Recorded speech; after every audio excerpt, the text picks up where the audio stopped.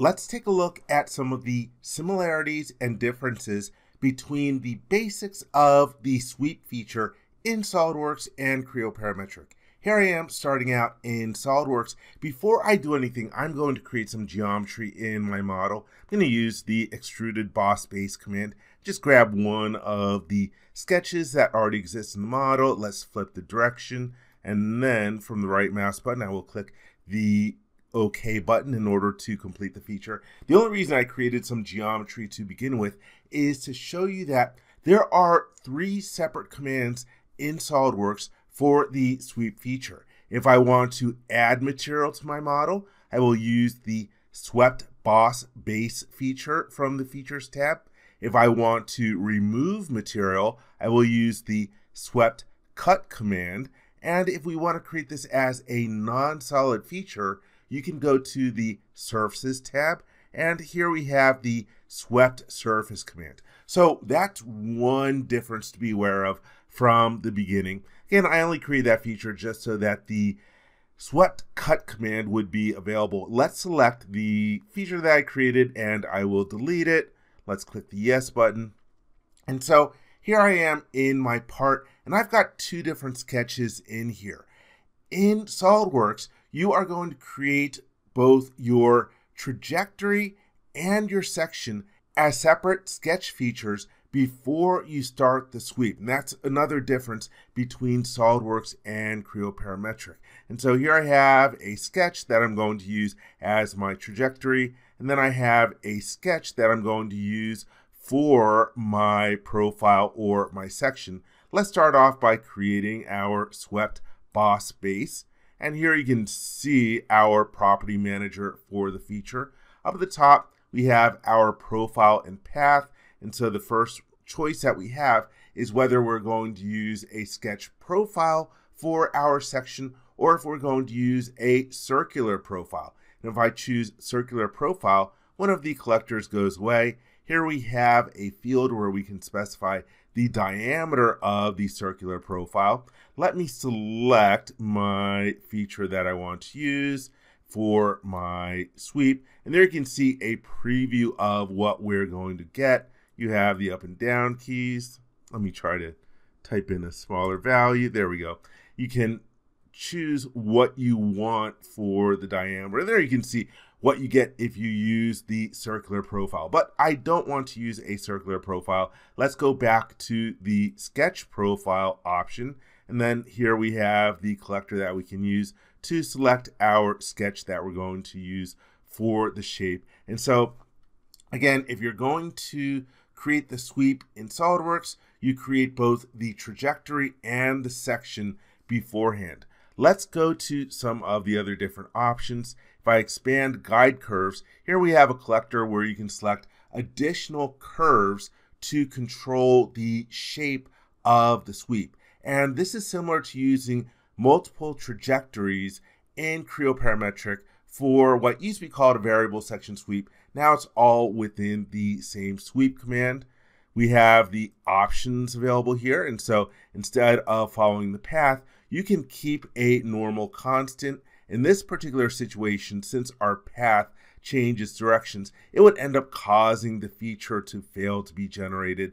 Let's change back from keep normal constant to follow path. And when we go over to Creo Parametric, we'll see that there are quite a few additional options for controlling the orientation. Here we have the profile twist. Right now it is set to none. You can change from none to specifying a twist value, specifying a direction vector, or tangent to adjacent faces, and specifying the twist that's going to happen in the feature. This is something that actually is not available on the Creo parametric side. And then we have an option here to merge tangent faces. Then we have our show preview. If I expand start and end tangency, well, here's you where you can specify if you're going to have tangency at the start and or the end. I'm going to choose none because I have nothing to be tangent to.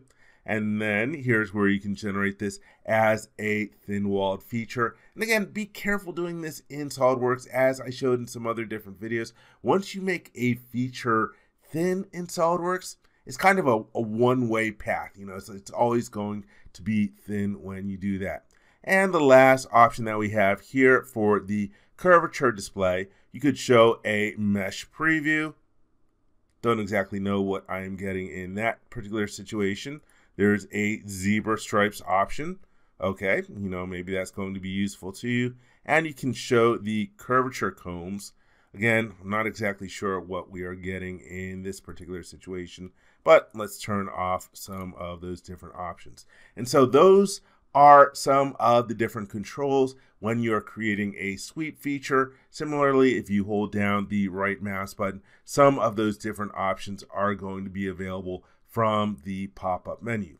But that's good. Let's hit the check mark. And there we have our sweep feature created. If I expand the little arrow next to sweep one, there you can see the sketches inside of the feature. By the way, sketch 3 over here has a little minus sign in parentheses indicating that it is under constraint. Let's go back to this one and then edit the sketch. And this one is a, a weird situation. I get this sometimes when I am working in SolidWorks where I have a sketch that for some reason is showing up as under constraint. You can see that we have a bunch of different constraints in here. I think I've got all the necessary dimensions. If I try to add some additional dimensions, I'll get an error that I'm over constrained. So if there's anyone who's aware why this particular sketch is under constraint, please let me know because I cannot figure it out. So anyhow, let's hit the check mark to get out of the sketch. And here we have, oops, I use way too many CAD programs. Keep on getting mixed up in terms of how to manipulate models on the screen. And so we have our sweep feature. Now let's jump over to Creo Parametric to see the similarities and differences. All right, here I am in Creo Parametric. You can see the sketch for the trajectory. It has the same dimensions as the sketch that I was using in SOLIDWORKS. I'm going to select another sketch here in the model and extrude it and flip the direction and just hit the middle mouse button in order to create some geometry in here. And the only reason I'm doing that is to show you that when I go to the sweep command from this single command, we can generate this as a solid feature or a non-solid feature, and we have a button to toggle whether this is going to add material or remove material from the model. Similarly, if I use my right mouse button, that will bring open up a mini toolbar, and here's where it's generating this as a solid. Here it's generating it as a surface. I can use this button to make it remove material from the model so that it is a cut. So again, in SOLIDWORKS where we had three separate commands for the sweep, in Creo Parametric it is just a single command. But let's cancel out of here for a moment and I'm going to take this extrude and delete it because I don't need it. I only create it so I can show you that if you have solid material in your model, hey, then you'll have the ability to create your features as a cut, as something that'll remove material. So let's start off our sweep once more. And in Creo 8, it automatically opens up your most likely to be used tab. In this case, it is the references tab. Let me select my sketch that I have in the model. Here we have an arrow. We want to change which side is going to be the start or not. And we also have some drag handles and some dimensions if we don't want to use the entire length of the trajectory.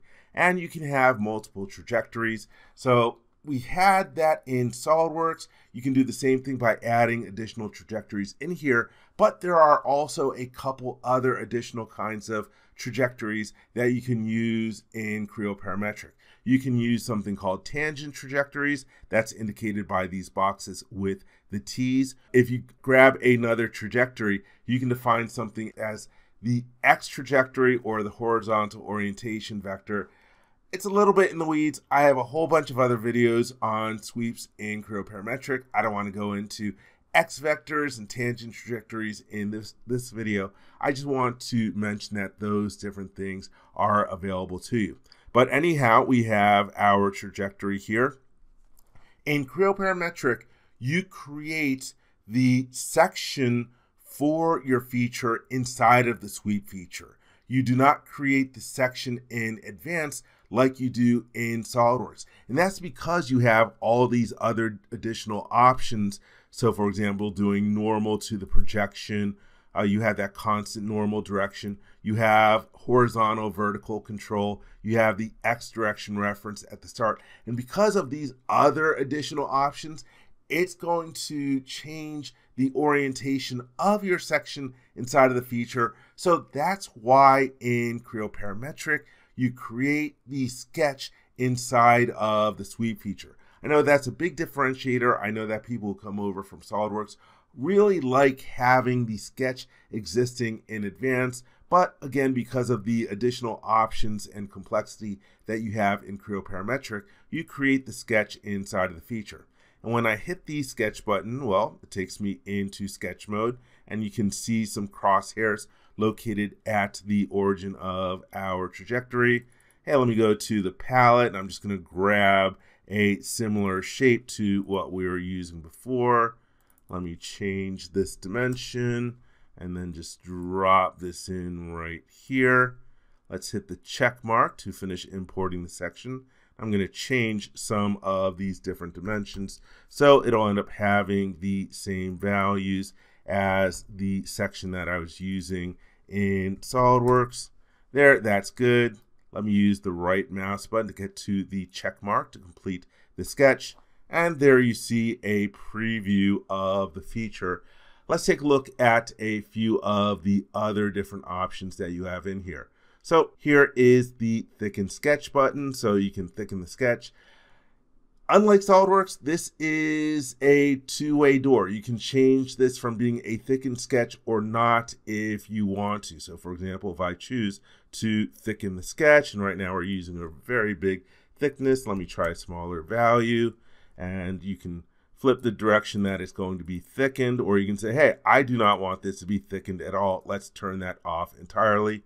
Also, from the right mouse button menu, you're able to get to the thicken sketch command. All right, let's go to options over here. We have capped ends. This is grayed out because we're not generating this as a surface feature. If I was generating this as a surface, you would have the option to cap the ends. If you have geometry already in your model, you can choose to merge the ends.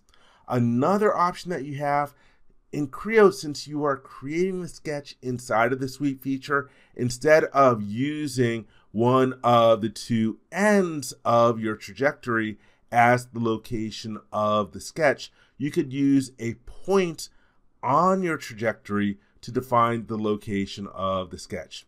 And here we have tangency. You can specify whether you're going to have tangency at the start and the end, just like you have in SOLIDWORKS. And here's the option that we have for generating this as a different body than the default body or the current active body. So there is a quick overview of the basics of the sweep feature. And again, to recap, two of the big differences that we talked about in this video in SOLIDWORKS, you have three separate commands. In Creo Parametric, it is a single command to create the sweep. And in SOLIDWORKS, you typically create your section before you create the sweep feature. And you also have that option for a circular profile in Creo Parametric because of a number of these other different options and controls that you have for more functionality for creating a sweep feature well, you create the sketch inside of the sweep feature. I hope you enjoyed this video. For more information, please visit www.creowindchill.com. If you learned something from this video, please give it a thumbs up. And if you like this video, please click the subscribe button and ring the bell to be informed when new videos are uploaded. Thank you very much.